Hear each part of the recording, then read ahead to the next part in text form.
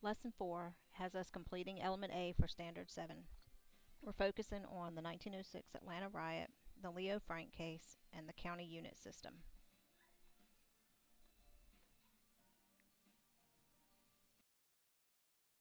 While you watch the video, you should be completing your tip chart and thinking about your response to the key question, what do the 1906 Atlanta race riot and the Leo Frank case have in common? Atlanta has traditionally been viewed as a progressive southern city whose relatively tolerant racial policies allowed for the rise of many successful African American social leaders, institutions of higher education, and African American businesses. However, there's one tragic event in Atlanta's history that tarnished this reputation. It's the 1906 Atlanta race riot, which resulted in the death of at least 25 people. The immediate spark for this two day riot was a series of newspaper articles that alleged that, uh, that black men had been attacking white women. These articles proved to be untrue. However, um, there were many other deep seated causes of the riot. Some of these included the large number of unemployed and frustrated white men who viewed African Americans as threats to jobs and the social order. There were also many whites that were jealous of successful African American business leaders such as Alonzo Herndon. Alonzo Herndon owned a barber shop that was sometimes called the Crystal Palace, and unfortunately, it was one of the first businesses targeted by the white mob. Additionally, Hoke Smith and Cl- Clark Howell were both running for governor of Georgia at this time, and they made matters worse by basing their campaigns on a platform of white supremacy, which caused more anger between these groups. On the morning of the riot, there were four articles that were published about the assaults on white women, and a group of mostly unemployed white men and boys gathered in downtown Atlanta seeking revenge for these false attacks. Even though city officials tried to calm the mob, the group of men began attacking any black person that they saw. They traveled into the black business district and killed two barbers and beat several men to death on streetcars. Due to all the violence, the Georgia militia was called into the city. And in turn, African Americans began to arm them themselves and, in some cases, started fighting off their attackers. Despite these efforts, there was sporadic fighting that occurred throughout the next day. For Atlanta itself, the riot caused a lot of unwanted negative attention throughout the country and throughout the world. Atlanta had been called the jewel of the New South. So, to try to end the riot, Atlanta business leaders, both black and white, quickly came together to restore order. This committee um, was historic in itself because these groups rarely met together in the South. The end result led to deeper segregation in the city and more of an economic divide between the African American social elite and lower class.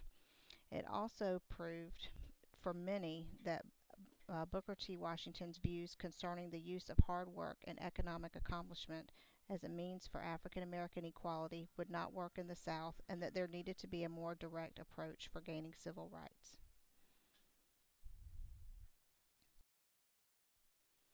Another racially charged event during the New South period was the murder of Mary Phagan and the Leo Frank case.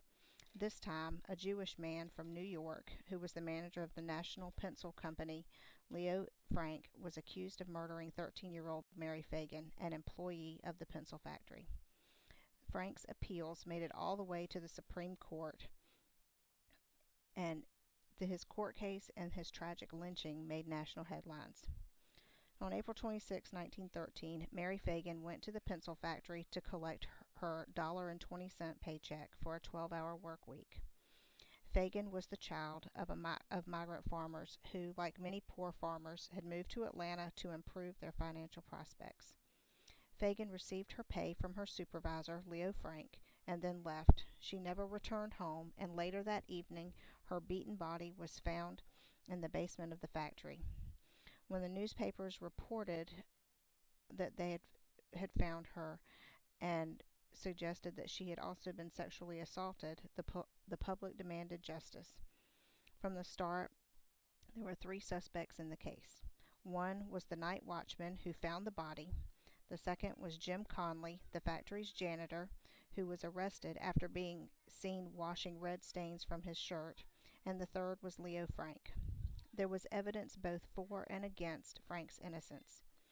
Frank appeared extremely nervous when the police came to his house for questioning, though some reports have stated that that was just part of his personality.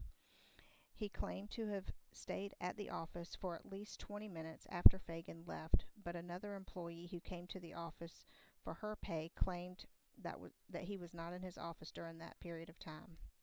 Finally, the night watchman claimed that Frank called him that evening asking if everything was okay. According to the watchman, this was the only time that Frank had ever done this. However, Jim Conley was also a strong suspect. Along with the blood-stained white shirt, he also gave police detectives four different affidavits about how he had helped Frank get rid of the body. Some have argued that due to the, the racial prejudices of the time, the police could not believe that the African American Conley had the capacity to develop the story on his own and promised him immunity for testifying against Frank. During this trial, Conley proved to be invaluable to the prosecution, which means he was very important. Frank's lawyers could not break Conley's testimony, and his stories about Frank's illicit affairs and harassment of the young white Southern female employees agitated an already hostile public and the jury who already believed that Frank was guilty of the murder. Frank was convicted of killing Mary Phagan and was sentenced to death. Upon his conviction, many Jewish groups, both from both the North and the South, began funding Frank's appeals. In turn, Tom Watson began an anti Semitic campaign against Leo Frank and Northern Jewish interests in his newspaper and magazine. After several appeals, Frank did not receive a pardon. However, one of the prosecuting attorneys, William Smith, who helped convict Frank and defend Conley, began to believe in Frank's innocence and conducted his own investigation of the case. With his work, he was able to convince Governor John Slaton to look to look into reducing Frank's sentence to life in prison in the hopes that enough evidence could be found that would result in a full pardon. Slaton, after conducting an investigation on his own, agreed that Frank was innocent, and going against public opinion, he reduced Frank's sentence to life in prison. This action resulted in public protest, and Slaton, who had been a popular governor, had to declare martial law. At the end of his term, he left Georgia in secret and did not return for most of the decade. Due to their fear that Frank would eventually be released, some community members from Marietta, um, which was Mary Phagan's hometown, drove to Milledgeville, Milledgeville, which is where Frank was being held in prison.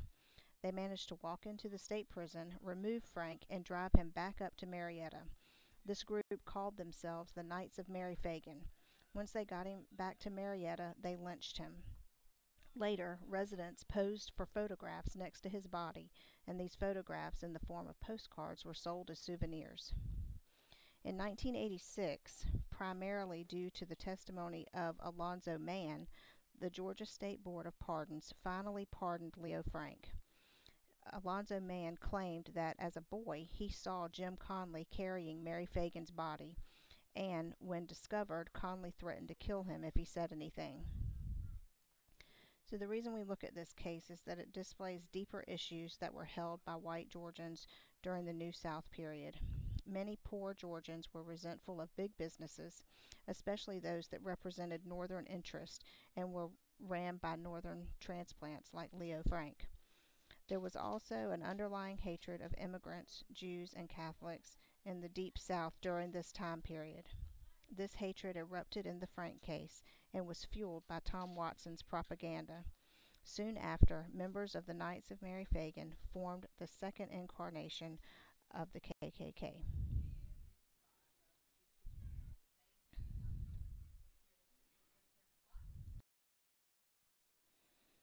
The county unit system. Simply put, the county unit system was instituted in 1917. It gave more power to rural, less populated counties than to the urban counties. Due to the fact that Georgia was solidly a, a solid Democratic state, candidates who won the primary were guaranteed to win the election. Under the system, counties were divided into three categories and given a specific number of unit votes. Urban counties were given six votes, town counties were given four votes, and rural counties were given two votes. However, under this system, there were eight urban counties with 48 votes, 30 town counties with 120 votes, and 121 rural counties with 242 votes. So, what this means is when rural counties voted as a block, they had much more power than the more populous urban centers. Though obviously going against the concept of one man, one vote, this system lasted for almost 50 years. This system, along with the white primary, was one of the ways that was used to limit the voting power of African Americans.